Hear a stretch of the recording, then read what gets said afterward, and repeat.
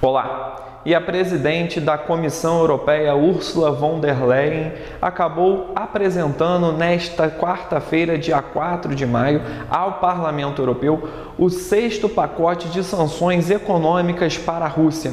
Isso mesmo.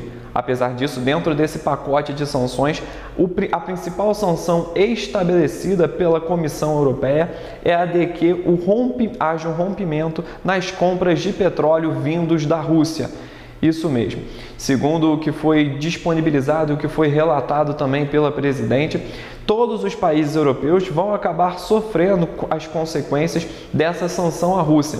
Entretanto, de acordo com a visão dela, é importante cortar o principal vínculo comercial que a maioria dos países de todo o planeta tem com a Rússia esses pacotes de sanções se deram início desde a invasão das tropas de Vladimir Putin à Ucrânia no leste europeu.